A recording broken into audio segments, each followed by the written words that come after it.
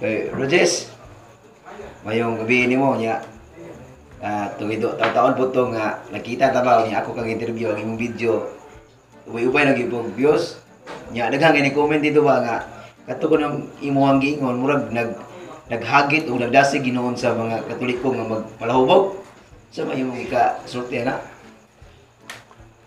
Ah, ako nga kasuli at ti na bro Brian Ah, nga wa gyud ko maghagit o mag-agda sa mga tao nga maghubog-hubog. mm. Oh. Ang intention lang nako, realidad. Really. Kaya kay daghan man kong mga tao nga nagsigig isyo Mm.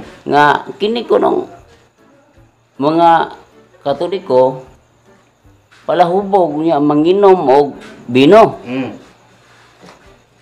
Unya karon nga si Jesus naghimo og unom ka tagjaw nga bino, Mm. wa sila masuko ni Jesus. Ako hinuon nga nagbasa ra sa ebanghelyo nga 2:11 sa San Juan, Mm. di ah sila nangasuko nako unsa man ni injustisya man ning ilaha. Anong ako may inyong kasukan? Si Jesus unahan yung kasuko. Ah.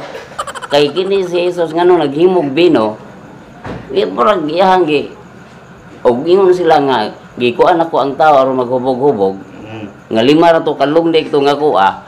Unsa pa kaning kang Jesus nga unom katagjaw? ha? So, nga murag imo ra mong gitok nga. ako lang pong gi ako lang pong gi pakuan sila nga naa joy bino. Mm. E kini mo si Kristo ring tambong og kasal sa Katoliko. Katoliko man gud ning gikasal, wa man gud ko'y nabasahan sa Biblia nga kasal sa laing relihiyon nga ning tambong si Hesus. Kini ra man kasalas Katoliko nga iyang gitambungan. Ah. Ang anong Katoliko ni Bro Brian Mm. kay gidapit man gud si Birhen Maria. Oy. Oh. No? Oh, unya nahutdan pud sila og bino. Kay kung di pa di kasal og Katoliko, mingon ta si Birhen Maria ang atong inahan nga anak nahutdan na sila Dios. Dios ra unta ang mahurot. Bino man. Ut pasabot, Katoliko jud ning kasala. Unya, Kamaning eh. wa mo sila, di pa pud sila angay masuko. Ada. Di mo pud angay sila masuko kay kanang wa man po'y nangahubog diha Mm. ah, sa ebanghelyo. Mm. Pero mingon sila, o nganong amay nahubog brad? Ang ang kay kanang atong gibasa Biblia man. Mm. Yung sa ang mga hubog kini bitong mo isyo bitaw diretso brad Ryan. Mm. Ilang pangitaon ko nung ana asa may nangahubog diha. Wala ana kay Biblia man na pero adto sa police blatter. Adto man na record ng mga hubog sa police blatter. Wa may na priso nga nahubog ang maaga ng nakainom. Mm. Ano ang priso? Ang mapriso kung nahubog unya mag-wild, Mm. mag magkuana, maghimo nagdautan. Oh, pero mahubog niya, matulog ra. Way kaso. Ay di ito na prisohon oy.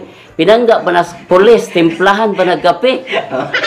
pero magmaoy ay dakpon sa pulis. Ah, Pero- medyo pa na yung mga advice sa mga mga Ah, inumay. inom lang mo pero ayaw mo paghubog-hubog. Okay. Og mahubog mo, ah, pagampo mo ayaw mo pagmaoy. Ah, Oh, mo na. salamat kay bro. Ah, sige bro, Sa salamat na- kayo bro. Ah, Okay kayo.